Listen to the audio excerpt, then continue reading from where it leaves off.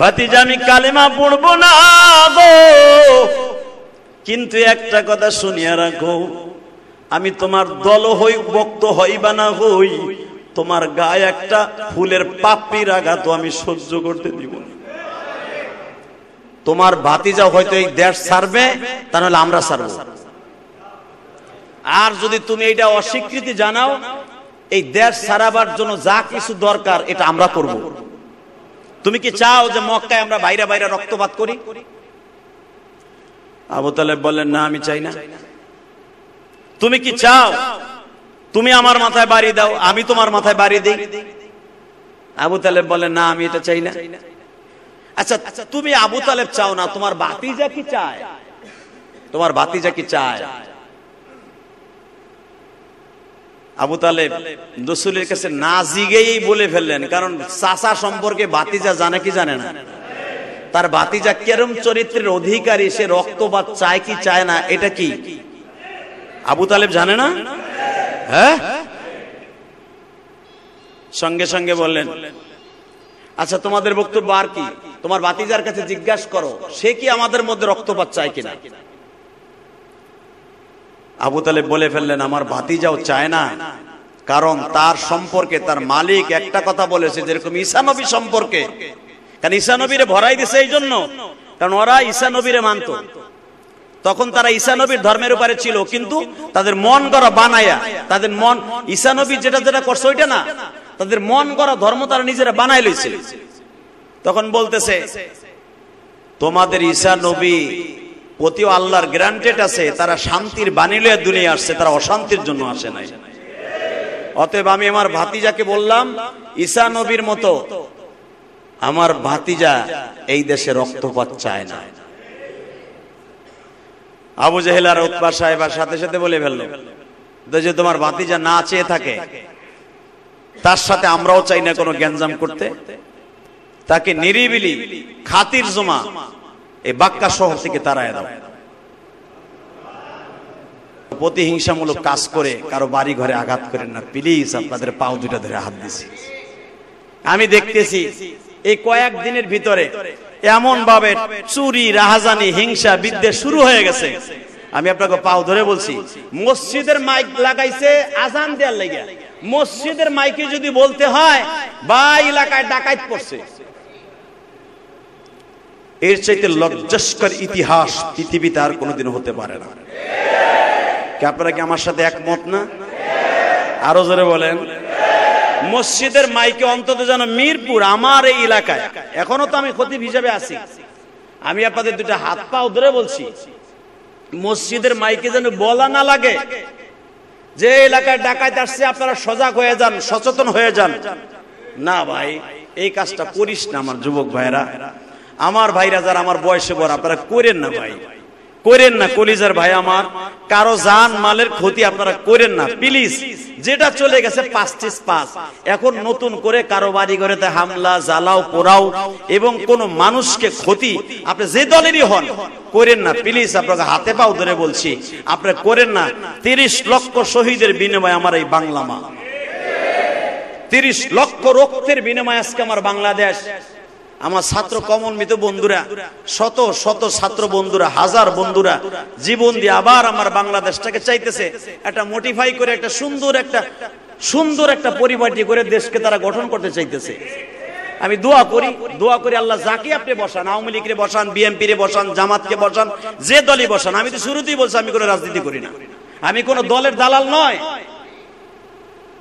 শুধু আমি আপনাদের খেদমতে বলব, আপনি যেই দলই করেন, আপনার দল চির চিরস্থায়ী ক্ষমতাশালী নয়। একজনের ক্ষমতা কোনোদিন যাবে না, সে কে? অতএব এই মাথাটা চিন্তা যদি থাকে যে তার ক্ষমতাই ধ্বংস হবে না, আমার ক্ষমতা একদিন শেষ হয়ে যাবে। এই দুনিয়া আইজ আছি, কাইল নাই, আমার বাহাদুরি করে কোনো লাভ নাই। কি? আমার কথা কষ্ট পাইছেন? আমাকে এইভাবে আপনারা রাস্তার উপরে না দাঁড়ায় যদি রুমের মধ্যে এক ঘণ্টা আগে বলতেন, আমি কষ্টটা পাইতাম না। কেন এই কথাটা বলছি? এই কথাটা আমার রসুলের আমার না। রসুলের? আবু তালেব যখন রসুলকে নিয়ে বসলেন, বইটা কানায় বাতিজা তোমার তো চায় না। তুমি কি এখন কি করবা? তুমি আপাতত কয়েক দিনের জন্য তোমার এই দাওয়াতের কাজটা বন্ধ করে দাও। ভালো করে বোঝেন।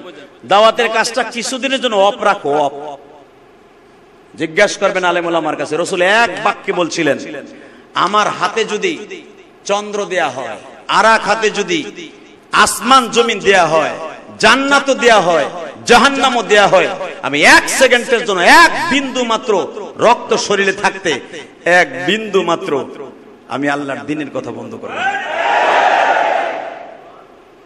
আপনাদের জানা আছে, বোখারির হাদিস, বিশ্বনবী সাল্লামের এই বক্তব্য শুনে আবু তালেব সাথে সাথে বললেন, ভাতিজা, যাও আমিও তো তুমি আমিও চিরদিন বেঁচে থাকতে পারব না। আমার নেতাগিরিও চিরদিন এই মক্কায় থাকবে না। তুমিও দুনিয়ায় থাকতে পারবে না, এটাও আমি জানি। তুমি নবী হয়েছে, কি হয়েছে? তার আগের নবীরা সবাই চলে গেছে। ঈসা নবী আসমানে চলে গেছে, তুমিও চলে যাবা, যাও। আমি তোমার সাথে হাতে হাত দিয়ে ওয়াদা করলাম। সারা দুনিয়া যদি তোমার বিরুদ্ধে যায়, আমি তোমার সাথে আছি। আপনাদের জানা আছে বিশ্বনবী মোহাম্মদ রসুল্লাহ সাল্লাহ সাল্লাম বিশ্বনবী চাচার দিক তাকায়, অপলক নেত্রে তাকায় ছিলেন। চাচা, আমার মনটা কেন যেন বলতেছে, আপনি মনে হয় কালেমা পরে ফেলবেন। এত সুন্দর কথা আমার চাচার মুখ দিয়ে বের হয়ে গেল। আমার বিশ্বনবী বললেন, ভাতিজা, আমি কালেমা পড়ব না, তুমি ওই চিন্তা করো না। ভাতিজা, আমি কালেমা পড়ব না কিন্তু একটা কথা শুনিয়া রাখো আমি তোমার দল হই বক্ত হই বা না হই, তোমার গায়ে একটা ফুলের পাপড়ির আঘাত আমি সহ্য করতে দিব এই পৃথিবীতে আল্লাহ ইচ্ছা করলে আবু জাহেলের মতো মানুষকে হেদায়েত দিয়ে তার জান্নাত দিতে পারতেন। ফেরাউন এত এত বছর এই দুনিয়া রাজত্ব করেছে, আল্লাহ ইচ্ছা করলে তার কি হেদায়েত দিতে পারতেন না? নমরুদ্রে হেদায়েত দিতে পারতেন না? কেন দিলেন না? হুজুরের চাচা যিনি আল্লাহর রসুলকে লালন পালন করলেন, তার বাড়িতে চব্বিশ পঁচিশটা বছর নিজে বাচ্চাওয়ালা মায়ের মুরগির মতো ডানার নিচে রেখে যাকে লালন পালন করে বিবাহ দিয়া নবুয়াত নবুয়াত পাওয়ার পরেও আল্লাহ রসুল সাল্লামকে নিজের ডানার মধ্যে লাগছে। এমন কি রসুল যখন বাহিরে যাইতেন, আবু তালেব পানির জগ নিয়ে দাঁড়ায় থাকতেন। আরও জোরে বললেন না? তো আবু আবু তালেব যদি জগ নিয়ে দাঁড়ায় থাকতেন রসুলের জন্য, আবু জেহেল দূরের থেকে টিটকারা দিতেন। কিরে আবু তালেব? তোর কি সামাজিক কোনো বৈষম্যতা নাই? তোর কি সামাজিক কোনো প্যাস্টিজ নাই? তুই আমাদের সভাপতি, দলের সভাপতি। তুই আমার দলের এত বড় একজন নেতা। তুই কি জন্য একটা মোহাম্মদ যেই লোকটারে কেউ সহে দেখতে পারে না?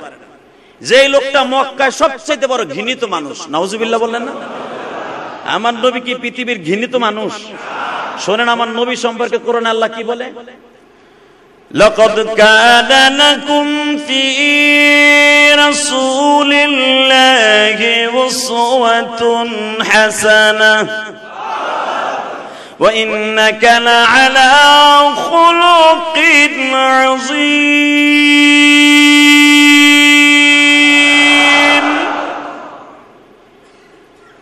আরে স্রষ্টার সৃষ্টিজীবের মধ্যে, আল্লাহ নিজে বলেন, আমার সৃষ্টিজীবের মধ্যে সবচেয়ে উৎকৃষ্টতম চরিত্রের অধিকারী একজন মাত্র ম্যান খুলকে আজিম যাকে আল্লাহ বলেছেন। পৃথিবীতে তার মতো চরিত্র অধিকারী কেউ ছিল না। হালাকে আবু জাহেল কি কয়? যেই লোকটা বিতর্কিত লোক, যেই লোকটা বাপ দাদার সাথে মিল নাই আমি দেখতেছি আবু তালেব, তোমরা নয় ভাইয়ের মধ্যে শুধু হামজা তার পক্ষে আর সবাই তার বিপক্ষে। আমার কথা মনে হয় বোঝেন নাই। কয়, তোমার ফ্যামিলি দিয়ে আমি বুঝাইতেছি, যারে তোমরা জন্মের পরের থেকে লালন পালন করে আজকে নবুয়াতি পর্যন্ত নিয়ে আসলা। এখন তার বয়স সাতচল্লিশ, আটচল্লিশ অথবা পঁয়তাল্লিশ বছর বয়স মোহাম্মদের। ছয়চল্লিশ বছর বয়স। সে এখন একটা নতুন ধর্মের দাওয়াত দিতেছে। লোকটা আমাদের ভাই ভাইয়ের মধ্যে মারামারি লাগাই দিছে।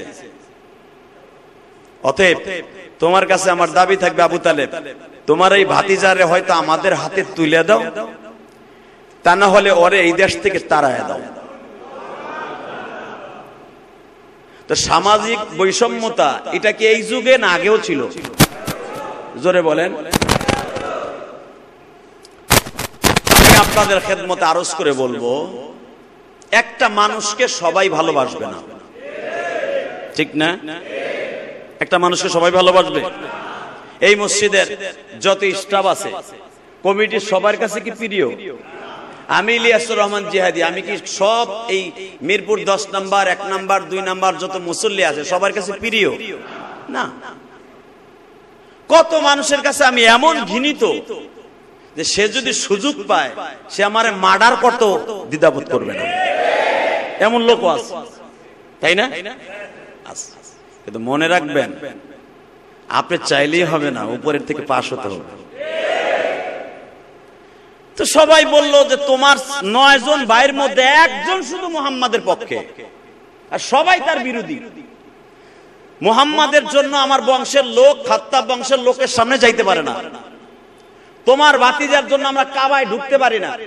তোমার ভাতিজার জন্য আমরা যেখানে যাই, সেখানে আমাদের লোকেরা আমাকে প্রতিবন্ধকতা সৃষ্টি করে। সবাই বলে, এই মেয়া, তোমার বাতিজা কি শুরু করছে? হ্যার জন্য আমাদের দলই থাকবে না। হ্যার জন্য হান হবে, তান হবে, আমাদের প্রতিষ্ঠান চালাইতে পারতাছি না তোমার ভাতিজার লেগে। অতএব আবু তালেব, তোমারে বলব, তোমার ভাতিজারা আমাদের হাতে তুলে দাও। নওয়াজবিল্লাহ বলেন না? আমার নবী কি লিগাল না আনলিগাল হ্যাঁ? আবু তালেব বলেন, আর বক্তব্য কি আছে? যে কথাটা বোখারিতে আসছে, এটা আমার ঐতিহাসিক কথা নয় ডাইরেক্ট হাদিস শরীফের কথা। আর তোমাদের দাবি দেওয়া কি আছে? বলে, আমাদের কমিটির সিদ্ধান্ত একত্রিশ সদস্য বিশিষ্ট কমিটি দারুণ নাদুয়ার ভিতরে সিদ্ধান্ত হয়েছে। তোমার ভাতিজা হয়তো এই দেশ ছাড়বে, তা নাহলে আমরা ছাড়ব। আর যদি তুমি এটা অস্বীকৃতি জানাও, এই দেশ সারাবার জন্য যা কিছু দরকার, এটা আমরা করব। তুমি কি চাও যে মক্কায় আমরা বাইরে বাইরে রক্তপাত করি? আবু তালেব বললেন, না, আমি চাই না। তুমি কি চাও, তুমি আমার মাথায় বাড়ি দাও, আমি তোমার মাথায় বাড়ি দিই? আবু তালেব বলেন না, আমি এটা চাই না। আচ্ছা তুমি আবু তালেব চাও না, তোমার বাতিজা কি চায়? তোমার বাতিজা কি চায়? আবু তালেব রসুলের কাছে না জিগেই বলে ফেললেন, কারণ চাষা সম্পর্কে বাতিজা জানে কি জানে না। তার বাতিজা কেরম চরিত্রের অধিকারী, সে রক্তপাত চায় কি চায় না, এটা কি? আবু তালেব জানে না? হ্যাঁ? সঙ্গে সঙ্গে বললেন আচ্ছা তোমাদের বক্তব্য আর কি? তোমার বাতিজার কাছে জিজ্ঞাসা করো, সে কি আমাদের মধ্যে রক্তপাত চায় কিনা? আবু তালেব বলে ফেললেন, আমার ভাতিজাও চায় না। কারণ তার সম্পর্কে তার মালিক একটা কথা বলেছে, যেরকম ঈসানবী সম্পর্কে। কারণ ঈসানবীরে ভরাই দিছে এই জন্য। কারণ ওরা ঈসানবীরে মানত। তখন তারা ঈসানবীর ধর্মের উপরে ছিল, কিন্তু তাদের মন গড়া বানায়া, তাদের মন ঈসানবী যেটা যেটা করছে ওইটা না। তাদের মন গড়া ধর্ম তারা নিজেরা বানাই লইছে। তখন বলতেছে, তোমাদের ঈসা নবী প্রতিও আল্লাহর গ্রান্টেড আছে, তারা শান্তির বাণী লয়ে দুনিয়া আসছে, তারা অশান্তির জন্য আসে নাই।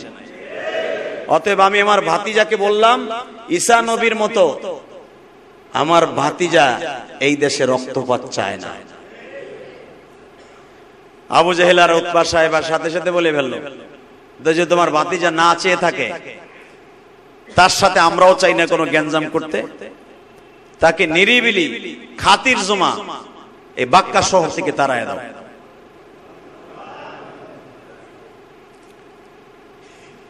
আপনারা দিলের কানে কথাগুলো শুনবেন। এটা ঐতিহাসিক আলোচনা নয়। এটা এমনই একটা গভীর আলোচনা। আবু তালেব বললেন আচ্ছা ঠিক আছে, তোমরা যার সম্পর্কে বললা, তার একটু বসি। তার সমস্যাটা কি তাই বলো। বলে, এক নাম্বার সমস্যা ভাই ভাই বাতিজার মধ্যে লাগাই দিছে। দুই নম্বর সমস্যা, তার জন্য কাবা ঘরে ঢুকতে পারি না। তিন নম্বরে, আমরা ব্যবসা করতে গেলে আমাদেরকে মানুষ লাইক করে না। আমাদের আমাদের ক্যাটাগরি যারা আছে, আমাকে দলের মানুষ বলে তোর বাক্কা শহরের লোক একটাও ভালো না। একজন মানুষের সাথে তোরা পারস এত বড় লিডার একজন মানুষের পারলি না বেড়া তোকে মক্কা থেকে বিতাড়িত করতে। তোমার ভাতি ভাতিজার জন্য আমরা মুখ দেখাইতে পারি না। যেদিকে যাই, সেদিকে আমাদের সমস্যা। আবু তালেব আমার নবীকে নিয়ে বসলেন। আপনারা জানেন যেটা ওকবায় উলা ওকবায় সানি ওকবায় তালা, তিনবার যেখানে বসে বইটা একখানে আবু তালেব নবীকে নিয়ে বসতেন। এই জন্য আমার কেশিয়ার আজকে বললেন একদল ছেলেরা আমাকে ডাইরেক্ট বললেন, আপনি সম্মানিত বেনি সম্মানের সঙ্গে নিচে যে বসেন, আপনি আজকে জমা পড়াইতে পারবেন না। আমি বললাম, আমার কমিটি যদি আমাকে না বলে, আমি এখনই চলে যাব। কি তারা কি বললেন, এখানে কোনো কমিটি নাই। কমিটি বিলুপ্ত হয়ে গেছে। এই কমিটি বিলুপ্ত হয়ে গেছে? এই দেশটা কি মগের মূল্য হয়ে গেছে? রাখেন। এই দেশ মগের মূল্য হয়ে গেছে? এই দেশে আন্দোলন করে, এই দেশকে স্বাধীন বনার যাই করেন করছে আমার কমলমতি ছাত্র ভাইয়েরা। তোমার আমার মতো নেতা কয়টা ছিল মাঠে? আমরা সব জানি, আমরা জানা আছে আমাদের। কথা বলেন না কেন? এ, রাখেন। আগামী জুমাতে ইলিয়াস রহমান যদি আসবেন, আপনি ভাইবেন না যে আমার এখানে জোর করে ক্ষতিগিরি করতে হবে। কিন্তু কথাগুলো দিলের কানে শুনবেন। আপনি এলাকায় নেতাগিরি দেখাইতে পারেন। আপনি ক্ষমতা হয়তো আমলিগালারা এই ষোলো, সতেরোটা বছর আমলিগালারা কম করে নাই কিন্তু। আজকে পুলিশ গুলারা যে এইভাবে পোড়াইয়া, কোবাইয়া, পিডাইয়া এইভাবে মারছে, এমনি এমনি না তো? আমার কথা না, কোরআনের কথা। তুমি যা করবা, ওর প্রতিফলন লাস্টে পাইবা। লাস্টে কানলে আমি আল্লাহ তোমার মাফ করব না। অতএব আমারে যদি আপনারা কমিটির বিরুদ্ধে আমি বলে গেলাম, আপনারা যদি আমাকে বলতেন, আলহামদুলিল্লাহ। কালকেও যদি বলতেন, আমি কালকে সেক্রেটারি সাহেবের ফোন দিছি। কারণ আমি তো জানি, সব জায়গায় একটু না একটু মেজাজটা গরম থাকবে। হয়তো বাব্বি ইলিয়াস রহমান নামাজ না পড়লেই ভালো। অনেকে চাইবে, যারা আমার পিছনে নামাজ পড়ে না। আরে অনেক আছে, ইমামের পিছনে ইমাম যখন দেহে ইমাম নামাজ পড়াইতেছে, অনেকে তার পিছনে নামাজ পড়ে না। অনেকে মহাজনের পিছনে নামাজ পড়ে না। সবাই যে আমার পিছনে নামাজ পড়বে, এটা আমার জানা আছে, চান্দু ভাই। অতএব ভালো করে বুঝবেন, আমরা কারও প্রতিপক্ষ না, এই মসজিদের প্রত্যেকটা ইমাম, খাতেম, সবাই আপনাদের বন্ধু। আল্লাহর জাতের কসম, আল্লাহর জাতের কসম, আল্লাহর জাতের কসম। আল্লাহ আলেম সবাইরে বানায় না। এই খেতাবাদের দায়িত্ব আল্লাহ সবাইকে দেয় না। এই সাতাইশ বছর খেদমত করি, সাতাইশ বছরে এই বসনাতে দাঁড়ায়। কিন্তু সাতাইশ বছরের ইতিহাসে ইতিহাসে নাই যে আমি খুদ্ায় ওঠার সময় কয়েকজন ছেলে এসে বলবে, আপনি আজকে জুমার নামাজ পড়াইতে পারবেন না। আমি সমস্ত কমিটি এবং ছাত্র ভাইদের, আমার মুসল্লি ভাইদের এবং ছাত্র সামা যারা এই দেশটাকে কত সুন্দর করার চেষ্টা করতে চাইতেছে এবং বর্তমান সরকার যেটা গঠন হয়েছে, এটা কি একজন ইমামের, একজন হতিবের সম্মান কি নষ্ট হয় নাই? এ কমিটির লোক কথা বলেন। আমাকে এক ঘণ্টা আগে বলতেন রুমের মধ্যে যাইয়া। আমি উঠতাম না উপরে। রাখেন। এক ঘণ্টা আগে আপনারা আমাকে বলতেন। আপনাকে আমি অনেক লাইক করি। আপনি এক ঘণ্টা আগে আমাকে বলতেন রুমে যে আমি আসছি তো সেই দশটায়। এত বড় ক্ষমতা আপনাকে কে দিয়েছে? মসজিদ কারও বাবার না। মসজিদ আমলের জায়গা। একজন ইমাম ভালো না লাগলে তাকে না করে দিবেন। ভদ্রচিত ভাষায় ভদ্র ভাবে আমি খেতাবাতের জন্য উপরে উঠলাম আর আপনি আমাকে বললেন, হয়তো আমার কলিজার টুকরা ভাইরা হয়তো বুঝে নাই। আপনি মসজিদের ইমামকে বাদ দেন, খতিবকে বাদ দেন মহাজনকে বাদ দেন, তার মনে কষ্ট দিয়ে না। তার একদিন আগে, এক সপ্তাহ আগে, অথবা এক ঘণ্টা আগে তার সম্মানের সঙ্গে রুমের ভিতরে যা বলবেন, হুজুর, আপনাকে আমাকে মহল্লার লোক চায় না। অথবা যে আপনার এখানে পাঠাইছিল হে, শুধু আপনার একাই চাই তো আমরা চাই না। অতএব আপনি হুজুর না ভালো হয়। আমার এত দায় থাকে নাই যে বাইতে আমার ইমাম করতে ওই ইচ্ছা আমার নাই রে ভাই। ওই ইচ্ছা আমার নাই। আপনাকে আমি নিজে আল্লাহ পাক আমার দিয়ে একটা মসজিদ করাইছি। আমার যে একটা জুমা খেতাবাদ বন্ধ হবে তা তো না। আমি নিজে আপনাদের দর বদলত আপনাকে সাথে নিয়ে চার কোটি টাকা, সাড়ে চার কোটি টাকা খরচ করে আল্লাহ পাক একটা মসজিদ বানাইছে। আমার কমিটি দেখে আসছে। তো ওখানে যে জুমা পড়াইতাম, আপনারা আমার সম্মানের সঙ্গে বলতেন, এতগুলো মুসল্লির সামনে আপনারা আমাকে কষ্ট দিলেন, অপমান বলব না, কষ্ট দিলেন, আমি কষ্ট পাইছি। আমি অনেক কষ্ট পাইছি। বিচার আমি কারও কাছে না দিলে উপরে দিয়ে গেলাম। এই হাজার হাজার মুসল্লিদের সামনে বিচার দিয়ে গেলাম।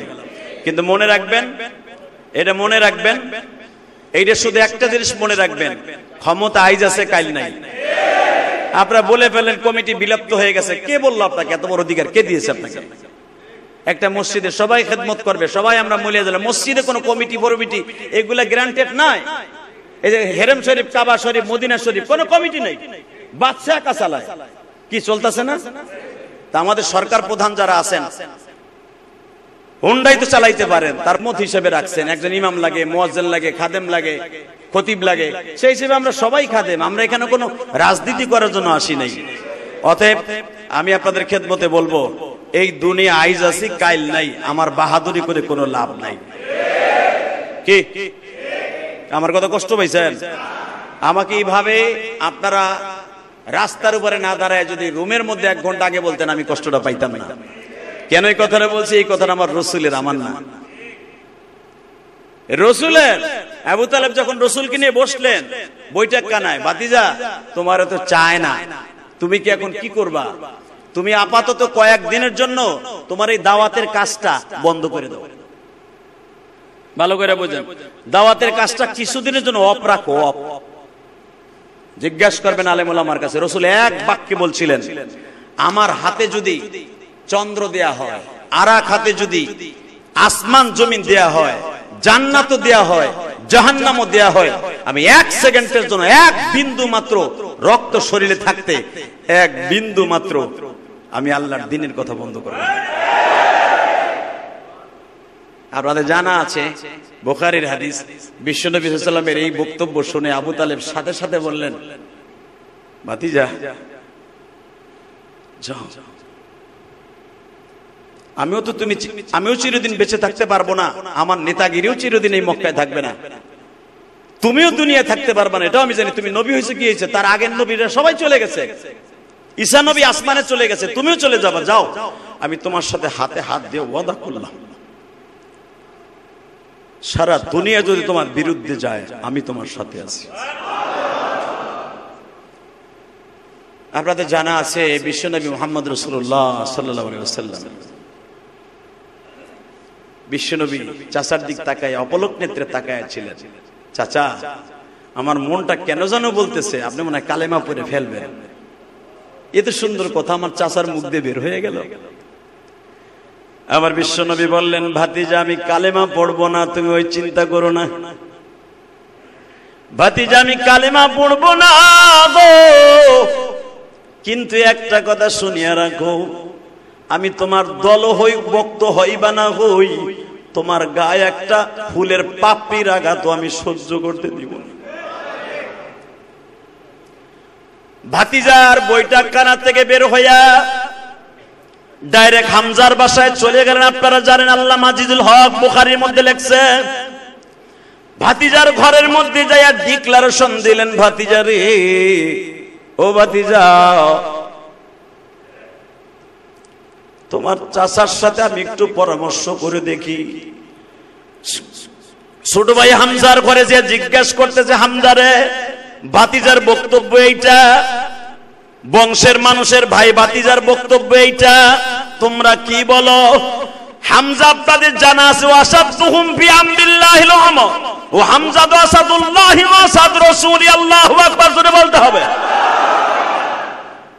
তার চাচা সম্পর্কে কি বলে? হাদিসে শোনেন? ও হামজা তো আসাদুল্লাহ আসাদ রাসূলি। আমার চাচা হামজা, আমার বাঘ আল্লাহর বাঘ আসাদ শব্দের অর্থ বাঘ আসাদুল্লাহ আসাদ রসুলি। আল্লাহ আব্বাস যেটা প্রতিদিন প্রতি জুমায় আপনারা জানেন, সানি খুতবায় আমি পড়ি। খতিবটা পড়ে। রসুল বলেন, আমার চাষার মধ্যে নয় জন চাষার মধ্যে আমার একজন চাষা আসলো বাঘ বাঘ। তাহলে বোঝা গেল মানুষের বলা যায় না? কিরে ভাই, তুই বাঘের আচরণ করলি? এটা শুধু আপনার আমার কথাটা রসুলও বলছেন। যে বাঘের বাচ্চা বাঘ। সুমান বললেন না? আমরা বলি না যে বাঘের বাচ্চা বাঘ। আমার রসুল এই শব্দটা উচ্চারণ করছেন, আসাদুল্লাহ ও আসাদ রসুলি। আমার হামজা চাচা আমার বাঘ এবং আল্লাহর বাঘ। আমার সিংহ, আমার আল্লাহর সিংহ। তাহলে বুঝালন? চাষাটা কি? ওই চাষা যখন শুনছে বাতি রাইয়া থেরেট দিয়ে গেছে। থেরেট দিয়ে গেছে, এই কথাটা যদি বলে, আপনি চিন্তা করেন। হামজা তো হামজাই। হামজা বলে, আপনার সামনে তারা প্রস্তাব দিল, বাতিজারে দেশান্তর করায় দেবেন, তারা বাক্কা শহর থেকে তারায় দেবেন। আপনি বইয়া কি হবরি কলা খাইছেন না আঙ্গুল চুষছেন? কারণ বড় তো, আবু তালেব তো হামজার থেকে বড়। সাথে সাথে বলে, ভাই রে, এখন ক্ষমতায় তার আমরা না। তুই তো জানো আমার সবকিছু দিক, দেখতে হয়। কি করা যায়? তুই সিদ্ধান্ত দিলি, ছোট মানুষ। এই জন্যই তো তোর তোর ঘরে আইছে। হামজা ডাইরেক্ট বলে দিলেন, দেখা দেখি পরে, আপনি প্রস্তাব আগে কে কি দিছে তাই করে বলে এক নম্বরে দিছে উতবা, উতাইবা সাহেবা আবু জেহেল পিছনের থেকে ধুমা দিছে, ও সামনে আহে নাই। এই প্রস্তাবে কিন্তু আবু জেহেল ছিল না, আপনি দেখবেন হা হাদিসে, আবু জেহেল পিছনে দুমা দিছে যে, তোরা যে বলবি, আমরা পিছনে থাকি, আমরা নেতারা। দেখবেন কিছু কিছু লোক কখনো কোনো সময় বেয়াদবি করে কারণ আলমের সাথে। এদের পিছনে বড় একটা শক্তি জ্ঞান থাকে। এই জ্ঞান ঠ্যাং রাজনীতি আমরা বুঝি। এই রাজনীতি আমরা বুঝি রে ভাই। আমি তো এই দেশের ছেলে, আমি তো এই দেশের নাগরিক। এগুলো বুঝি না তা না। কিন্তু আপনি যাকে যে অবস্থায় লিড দিচ্ছেন, আপনি মনে রাখবেন, আপনার পিছনে আর একবার দেওয়ানের লেগে বয়ে রয়েছে। আপনি অপেক্ষায় থাকেন। কিছুদিন অপেক্ষায় থাকেন। তো এইদিকে তাকায় বলতেছে, হামজা বলতেছে, ভাতিজা, এই ভাই, শোনেন কি, আপনার সামনে যে বলল ভাতিজারে দেশান্তর করায় দেবে, আপনি চাইছে আঙ্গুল চুষলেন, কয়, না, আমি বুঝি কে কে লিড দিছে। হামজা বললেন লিড কে দিছে এক নম্বরে আমি যাই তার কাছে, আপনি দেখেন আমি বাইর করি। আপনাদের জানা আছে, হাদিসে আসছে, হামজা ডাইরেক্ট তীর আর ধনুক লইয়া কারও বাড়ি যায় নাই। ডাইরেক্ট তার আপন ভাই। এই আবু তালেবের বড়, তার নাম হলো আবুল আহাব। কি নাম? জোরে কন। জোরে কন।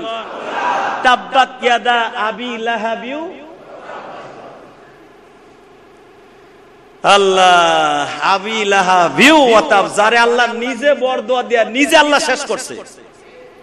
আল্লাহর গজবকৃত মানুষ এইটা।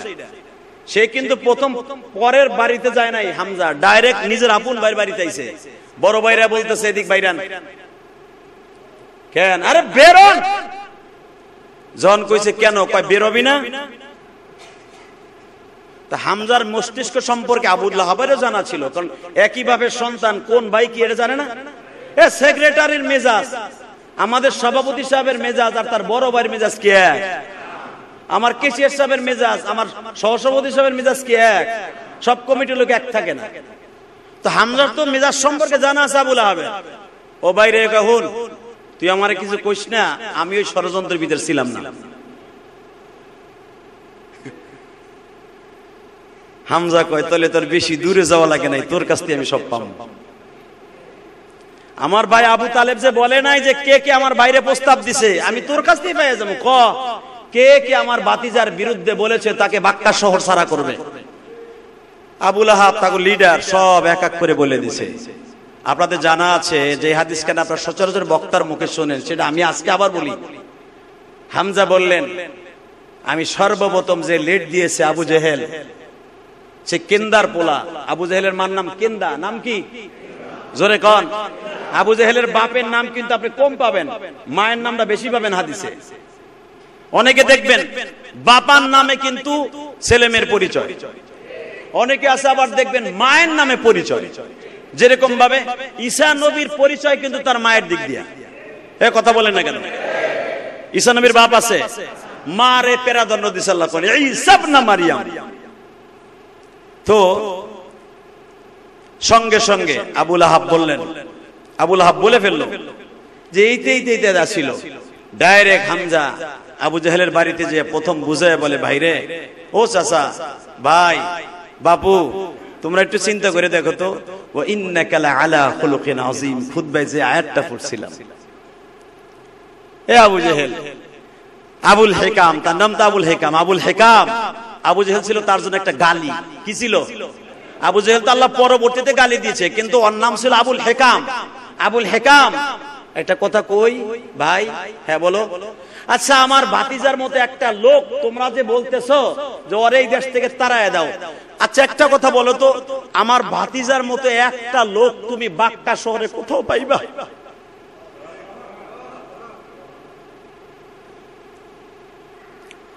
হাদিসে দেখবেন, আবু জেহেল জীবনে কয়েকটা কথা সত্য বলেছে, তার ভিতরে এই কথাটা। নবুয়াতির সপ্তম ষষ্ঠ বছর আবু জেহেল এই কথাটা বলছিল। হামজারে, আমি সব বুঝি। ভাতিজার চরিত্রের ভিতরে জাররা পরিমাণ কোনো ভেজাল নাই। আলা খুলুকিন আযীম, তার চরিত্র পৃথিবীর স্রষ্টা সৃষ্টিজীবীর মধ্যে উৎকৃষ্টতম। কিন্তু সবচেয়ে বড় জিনিস, রাজনীতি যেদিকে যায়, সেটাই করতে হয়। হামজা, মোহাম্মদরা আমি লাইক করি, অনেক পছন্দ করি। মোহাম্মদের সবকিছু আমার পছন্দ হয়, কিন্তু তার একটা জিনিস পছন্দ হয় না। আমাদের ভিতরে যে একটা প্রতিহিংসা, এর কারণে আমি মোহাম্মদের দল করতে পারি না, তার দলে আমি জীবনে যাইতে পারব না এই জন্য তার আমি দেখতে পারি না, কিন্তু তার সবকিছু ভালো লাগে। শুধু একটা জিনিস যে, সে যেটা বলে, ওইটা আমি মাইনা নিতে পারব না বিদায়। আজকে আমি তারে লাইক করি না। নওয়াজবিল্লাহ বলে না? হামজা সঙ্গে সঙ্গে বলেছিল, তুই যেটাকে লাইক করবি না, আমি ওইটাকে লাইক করি। তুই যেটাকে ভালোবাসবি না, ওইটাকে আমি ভালোবাসি। আজ থেকে এত এতদিন পর্যন্ত গোপনে রাখছিলাম যে আমি মুসলমান। গোপনে রাখছিলাম। আজ থেকে প্রকাশ্য শোন বাতিজা যদি বাঁচে, হামজা বাঁচবে। হামজা যদি মরে, ভাতিজাও মরবে। কিন্তু মনে রাখবি, আমি হামজার গায়ে একটা লগেট বাতিজার গায়ে দেয়ার আগে হামজার গায়ে আগে পড়বে। মেরে ভাই দোস্ত, বুজুর্গ রসুল সাল্লাম সবার কাছে প্রিয় ছিলেন না। আপনার আমিও সবার কাছে প্রিয় না। একটা দোকানের পাশের দোকানদার তার প্রতিহিংসার কারণে তারা লাইক করে না। একজন ইমাম মুয়াজ্জিনকে লাইক করে না প্রতিহিংসার কারণে। একজন খতিব ইমাম সাহেবকে লাইক করে না প্রতিহিংসার কারণে। কথা বলেন না কেন? আমি আপনাদের খেদমত আরজ করব। প্রতিহিংসামূলক কাজ করে কারও বাড়ি ঘরে আঘাত করেন না। প্লিজ আপনাদের পাও দুটা ধরে হাত দিছি। আমি দেখতেছি এই কয়েক দিনের ভিতরে এমন ভাবে চুরি, রাহাজানি, হিংসা, বিদ্বেষ শুরু হয়ে গেছে।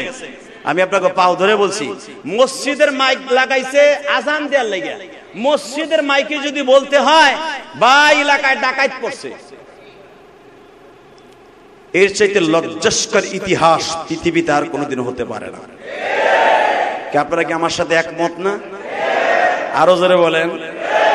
মসজিদের মাইকে অন্তত যেন মিরপুর, আমার এই এলাকায়। এখনও তো আমি খতিব হিসাবে আছি। আমি আপনাদের দুটা হাত পাও ধরে বলছি, মসজিদের মাইকে যেন বলা না লাগে, যে এলাকায় ডাকাত আসছে, আপনারা সজাগ হয়ে যান, সচেতন হয়ে যান। না ভাই, এই কাজটা করিস না আমার যুবক ভাইরা। আমার ভাইরা যারা আমার বয়সে বড়, আপনারা করেন না ভাই। করেন না, কলিজার ভাই আমার। কারও জান, মালের ক্ষতি আপনারা করেন না প্লিজ যেটা চলে গেছে, পাঁচ চিস পাঁচ। এখন নতুন করে কারও বাড়ি ঘরেতে হামলা, জ্বালাও, পোড়াও এবং কোন মানুষকে ক্ষতি, আপনি যে দলেরই হন, করেন না প্লিজ আপনাকে হাতে পাও ধরে বলছি। আপনি করেন না, তিরিশ লক্ষ শহীদের বিনিময়ে আমার এই বাংলা মা। তিরিশ লক্ষ রক্তের বিনিময়ে আজকে আমার বাংলাদেশ আমার ছাত্র কমনমিত বন্ধুরা শত শত ছাত্র বন্ধুরা হাজার বন্ধুরা জীবন দিয়ে আবার আমার বাংলাদেশটাকে চাইতেছে একটা মোটিফাই করে একটা সুন্দর একটা সুন্দর একটা পরিপাটি করে দেশকে তারা গঠন করতে চাইতেছে। আমি দোয়া করি দোয়া করি আল্লাহ যাকে আপনি বসান আওয়ামী লীগের বসান বিএনপি রে বসান জামাতকে বসান যে দলই বসান আমি তো শুরুতেই বলছি আমি কোনো রাজনীতি করি না। আমি কোনো দলের দালাল নয়। শুধু আমি আপনাদের খেদমতে বলব আপনি যেই দলই করেন আপনার দল চির চিরস্থায়ী ক্ষমতাশালী নয়। একজনের ক্ষমতা কোনোদিন যাবে না, সে কে? অতএব এই মাথাটা চিন্তা যদি থাকে যে তার ক্ষমতাই ধ্বংস হবে না, আমার ক্ষমতা একদিন শেষ হয়ে যাবে। তা না হলে আমি খেদমত করতেছি, পাঁচ বছর উপর হয়ে গেছে না? পাঁচ বছরের ভিতরে আজও হ্যাঁ আমি যখন প্রথম জুমায় আসলাম, তখন কিছু আমার কলিজার ভাইরা নারাই তাকবীরের ধ্বনি দেই, খতিব চাই না চাই না কইছিল। কইছিল না? কির লেগে কার ইন্ধনে কইছে আল্লাহ ভালো জানে। আবার দেখলাম পাঁচ বছর পরে, আজকে আবার কইতাছে, কিছু লোক আপনাকে এলাকায় চায় না। আলহামদুলিল্লাহ, যদি না চেয়ে থাকে আমি তো জোর করে থাকতে পারব না। আর যদি আমার আল্লাহ এখানে চায়, আপনি জোর করে আমার খেদা দিতে পারবেন না। কথা বলেন না কেন? যদি আপনার আমার খেদায় দেন, আমি আবার নতুন রূপে ফিরে আসব। এটা মনে রাখবেন? যখন আমি নতুন রূপে ফিরে আসব তখন সিচুয়েশনটা এরকম থাকবে না। হয়তো আল্লাহ পরিবর্তন করবে, হয়তো আপনি কবরে যাবেন, নাহলে আমি কবরে হয়তো আপনি যাবেন, নাহলে আপনি জালদিতে কাজ করছেন, সেও কবরে যাবে। কিন্তু কারও মনে কেউ কষ্ট দিয়ে পর্যন্ত সে বড় হতে পারে নাই। আমি আপনাদের খেদমত আরজ করব। আমি আমার কমিটির ভাইদের কাছে করজে রিকোয়েস্ট করব, যদি আপনারা আমার দ্বারা কষ্ট পেয়ে থাকেন এই পাঁচ বছরে, আপনারা আমাকে সুসম্মানের সঙ্গে না করে দিবেন। কিন্তু কোন বাহিরের লোক দিয়া কমিটি ছাড়া বাহিরের লোক দিয়ে আপনারা রাস্তায় দাঁড়ায় আমাকে বলবেন, আপনি আজকে খেতাবাদগিরি করতে পারবেন না? আপনাকে এলাকার লোক চায় না। আমি জিজ্ঞাসা করলাম, আমাকে চায় না, আমার কমিটি তো আমাকে না করে নাই। কমিটিকে, কোনো কমিটি নাই, কমিটি বিলুপ্ত হয়ে গেছে। এই শব্দটা বলে কাউকে কষ্ট দিয়েন না। প্লিজ, একজন আলেমের সাথে, আপনি হয়তো চলেন এলাকা নিয়ে, কিন্তু আমি ইলিয়াস রহমান জেহাদি চলি। আমার বক্তৃতা সারা পৃথিবীতে যায়। আজকের যে আপনাদের আচরণটা, এটা তো সারা পৃথিবীতে চলে যাবে জুমার পরে। এবং শুধু আমি এখানে বসে থাকব তা না, প্রধান উপদেষ্টা যিনি হয়েছেন, ওনার পর্যন্ত যাওয়ার ক্ষমতা আল্লাহ আমাকে দান করেছেন। আপনি কিছুই জানেন না। আমি আপনার মসজিদে খেতাবাদ করি, বিদে আপনি মনে করছেন, ডাইল খিচুড়ি।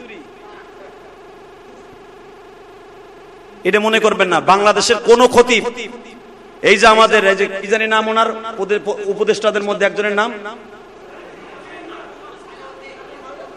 উনি ডাইরেক্ট বলে দিয়েছে, কোন খতিব সাহেবকে ডিস্টার্ব করা যাবে না। কোন খতিব সাহেবের মুখ বন্ধ করা যাবে না। আমি গত জমায় বলেছি যে আমি যদি কিছু কথা বলি এমপি ইলিয়াসউদ্দিন মোল্লা আমার পরের জমা পড়াইতে দিবে না। আমি বলি নাই? কেন আমি কাউকে পরোয়া করি না, আমার রেজেক যে কয়দিন আছে সেই কয়দিন থাকবে। আপনি ইচ্ছা করলে আমার খেদাইতে পারবেন না। তবে আপনাদের আচরণের কথাটা আমি প্রধান উপদেষ্টা পর্যন্ত যাবে। কারণ কি জানেন? এখন একটু একটু পাওয়ার আমাকে আল্লাহ দিছে। আমাকে একজন মোল্লারে নিছে ওহেনে। আফামো খালেদ হোসেন সাহেবের সাথে। আলহামদুলিল্লাহ আমার অনেক সম্পর্ক, বক্তৃতার জগতে অনেক সম্পর্ক। অতএব আমার মনের ব্যথাগুলা জানাব। যদি আমার কমিটি চায় যে আমাকে এখানে চায় না, পৃথিবীর আমি কারও কাছে কিছু বলব না। আলহামদুলিল্লাহ সুসম্মানের সঙ্গে আপনারা আমাকে বিদায় দিয়ে দেবেন। কিন্তু রাস্তায় দাঁড়ায় আপনারা আমাকে বলবেন না যে আপনি খতিবগিরি করতে পারবেন না। এই কথাটা বললে কষ্ট পাই। আল্লাহ আমাদের সবাইকে বুঝে বুঝে আমল করার তৌফিক দান করুন। আমি আপনার আমি আমার কোন মুসল্লি ভাইদেরকে বলব না। ওখানে যে কয়জন আমাকে ডিস্টার্ব করছে। এখানে যদি তারা আমাকে ঠিক মতো ঠিকই উঠতে না দিত, এখানে একটা অপ্রীতিকার ঘটনা ঘটে যেত আবার কেশিয়ার সাহেব দেখছেন।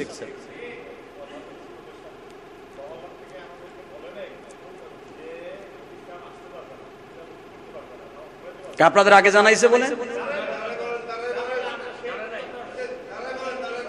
ওই যে ভাই কি বলে? রাখেন রাখেন রাখেন। রাখেন, আমার কেশিয়ার সাহেব কি বলে শোনেন? আমাকে আমি, আমার বক্তব্যটা শোনেন। আমি এই বক্তৃতায় আসার পাঁচ মিনিট আগে শুনলাম, আমার মহাদিন সাহেব আমার কাছে বসেছিলেন। দুইজন একসাথে চা খাইতেছিলাম। আমি প্রতিদিন আমার ইমাম মহাজিনকে নিয়ে আমি আসা আসি তো দু এক দেড় ঘণ্টা আগে, আপনারা জানেন অনেকে। আমি চা খাইতেছিলাম ইন্দিমি টাইমে দেখলাম, আমি লেফটিনে গেলাম। আমার আপনাদের না জানালে তো বুঝবেন না। তো নিচে যখন আমি গেলাম বাথরুমেতে বের হয়েছি, দেখি আমার মহাদিন সাহেব নাই। আমি জিজ্ঞেস করলাম, অন্য লোকদেরকে, তারা দেখি নিচের থেকে চার পাঁচজন নিচে গেছে। আমার রুমে যে বলতে চোদর আপনাকে আজকে নামাজ পড়াইতে দিবে না? যারা আসছিল ওই ক্যামেরা ফ্যামেরা ফেলাই দেওয়ার জন্য, আমি বললাম, মিডিয়ারে যে ফেলাই দিবে, মিডিয়া যদি ওর পিছনে লাগে ও ওই যাইবে আরে, বাংলাদেশে যা কিছু পতন ঘটায়, মিডিয়ার দ্বারাই হয় রে বেটা। তো আমার বলল যে মিডিয়া মিডিয়া ফেলাই দিছে আয়া। আমি বললাম, আমার কমিটি কই?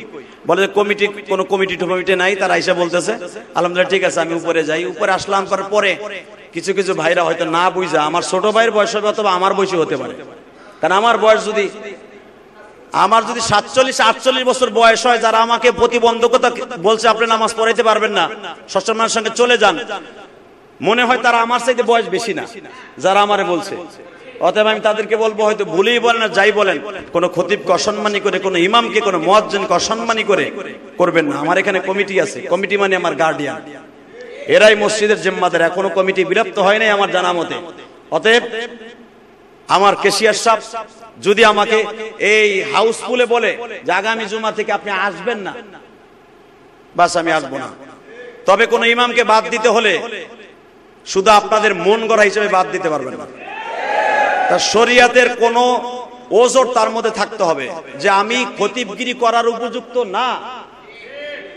যদি এরকম আমার হয়ে থাকে, আমার বাদ দিয়ে দেন। কিন্তু যদি আমি এরকম না হই, তাহলে আপনি আমার বাদ দিয়ে দিলে পরের যদি বাদ না দেয়, তাহলে আপনি কিছু করতে পারবেন না। অতএব আমার কেশিয়া সাহেব হয়তো কিছু বলবে, সেক্রেটারি সাহেব বলবে, এরপরে ইনশাল্লাহ আপনাদেরকে নিয়ে মোনাজাত করব। আল্লাহ যেন আমাদের সবাইকে বোঝার তৌফিক দান করে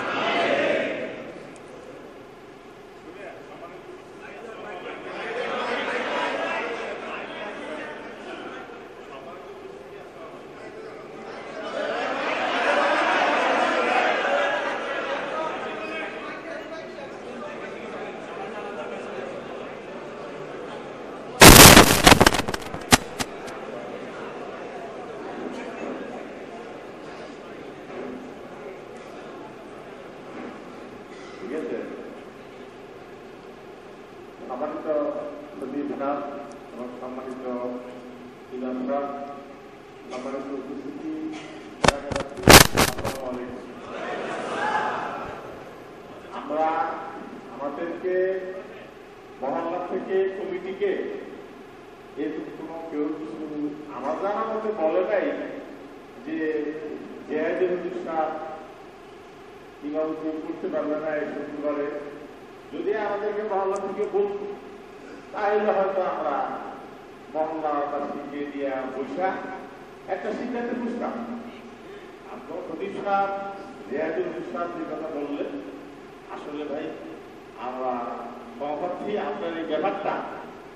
জানি না। যারাই আসছে, হয়তো আসছে আপনি এটা আমি যখন আসলাম, ওরা আমাকে বলল, এরা আমাদেরকে, আমাদেরই এলাকারই ডাইভার্সিটা পরিচিত। দুই একজন অপরিচিত। এখন আমি ওদেরকে বললাম যে ঠিক আছে, আজকে যেহেতু চলে আসছে। আজকে যদি করবে, আজকে নামাজ পড়াবে এরপরে যদি আল্লাহ পাক দেয় তোমাদেরকে নিয়ে আমরা, তোমাদের যদি কোনো কথা থাকে, আমরা তোমাদেরকে নিয়ে বসবো, আলোচনা করব।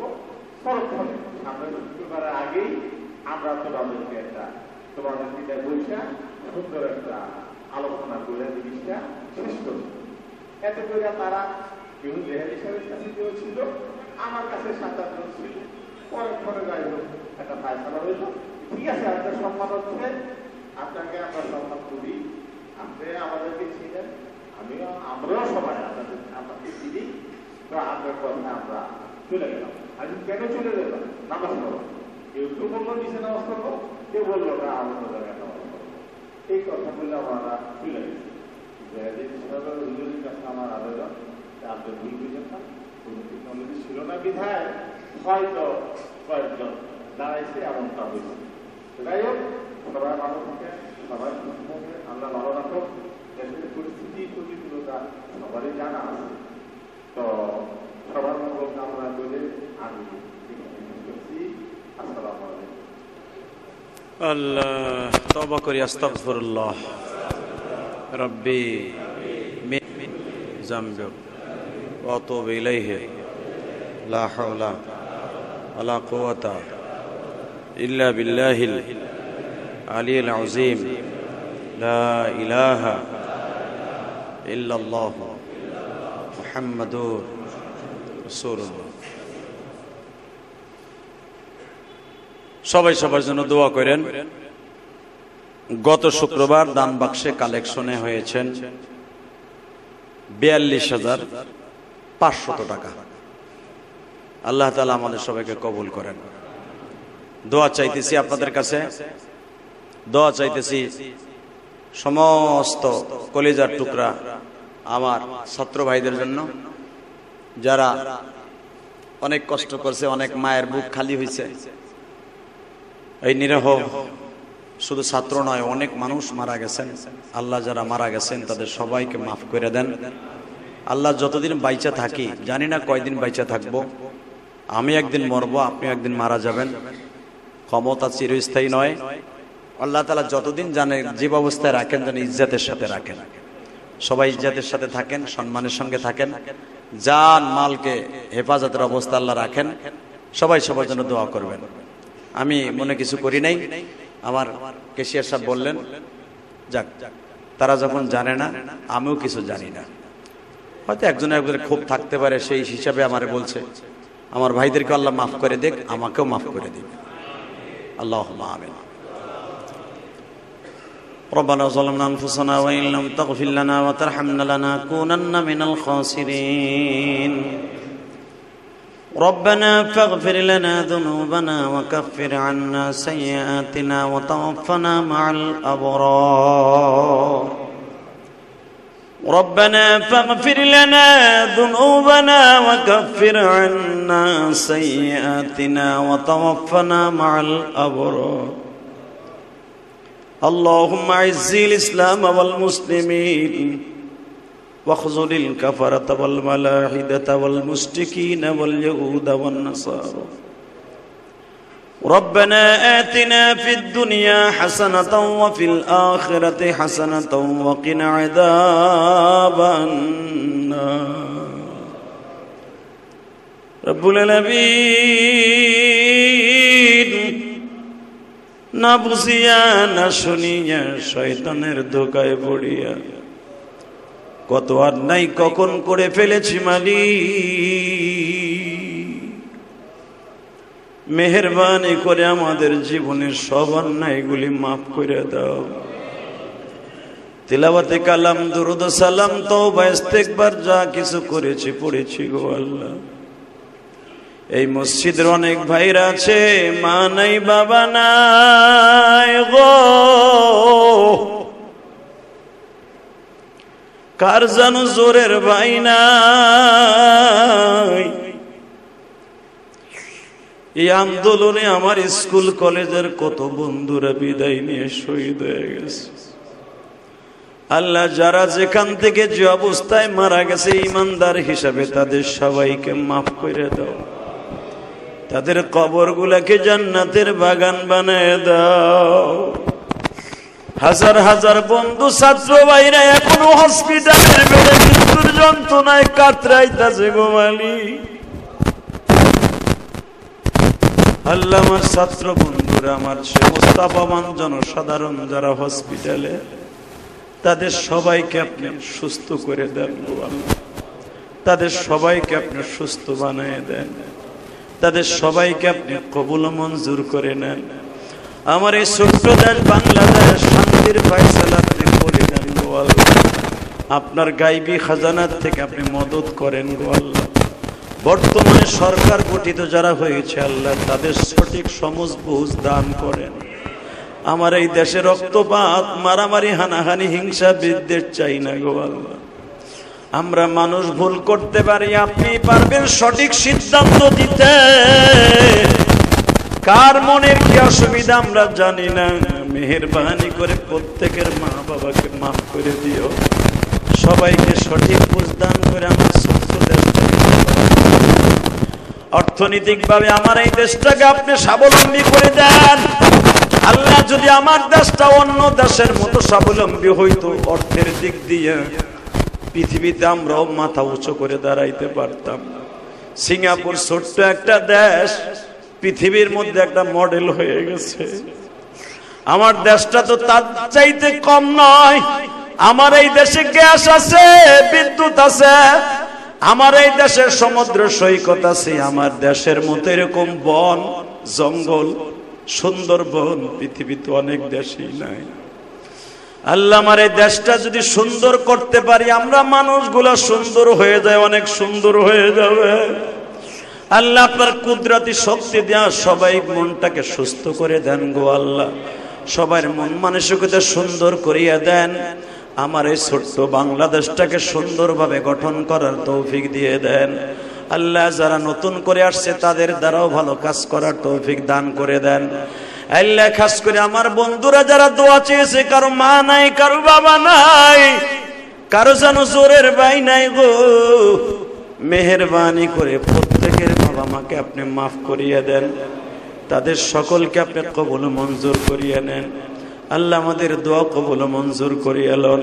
আল্লাহ আমার ভাইরা যারা বুঝে না, তাদের বুঝদান করিয়ে দেন। আল্লাহ মসজিদকে আপনি কবুল করে নেন। মসজিদের সমস্ত কমিটি বীরেন্দ্রকে কবুল করেন। বিগত কমিটি, বর্তমান কমিটি, যারা আসবে, যারা গেছে, যারা মারা গেছে, তাদের সবাইকে মাফ করে দেন আল্লাহ। আল্লাহ যে যে অবস্থায় আছে তাদের সকলকে কবুল মঞ্জুর করে নেন। আল্লাহ আমার ভাইরা অনেক দূর দূরান্ত থেকে আসছে। আল্লাহ কে অসুস্থ, কে সুস্থ আমি জানি না। মেহরবানি করে আমার বাবার বয়সে অনেক মুসল্লি আছে। আল্লাহ স্থানীয় বিদেশি অনেক দূর দূরান্ত থেকে আমার মুসাফির ভাইরাও আছে। তাদের খেদমতে দোয়া চাইছে, আল্লাহ আরজ করছি, সবাইকে আপনি ভালো রাখেন, সুস্থ রাখেন। আল্লাহ অনেক দূর দূরান্ত থেকে দোয়া চাইছে। মানিকগঞ্জ থেকে ধামরাই থেকে সাভার থেকে আল্লাহ অনেক জায়গার থেকে আমার ভাইরা দোয়া চাইছে, অনেকে অসুস্থ আছে। সকলের বাবা মাকে আল্লাহ আপনার সুস্থ করিয়া দেন। সকলের ব্যবসা বাণিজ্য বরকত দিয়ে দেন। হালাল রেজেকের ব্যবস্থা করিয়ে দেন। অসল্লাহ তালা আল্লাহ আল্লাহ খাস করে আমি দোয়া করি আমার ছাত্র ভাইদের জন্য, ছাত্র সমাজের জন্য। যারা রই রৌদ্রের মধ্যে দাঁড়ায় দাঁড়ায় পুলিশের ভূমিকা পালন করতেছে, ট্রাফিকের ভূমিকা পালন করতেছে, আল্লাহ এদের সবাইকে শরীর সুস্থ রাখবেন, ভালো রাখবেন। وصلى الله تعالى على خير خلقه محمد ونور عرشه سيدنا معهم برحمتك يا رب.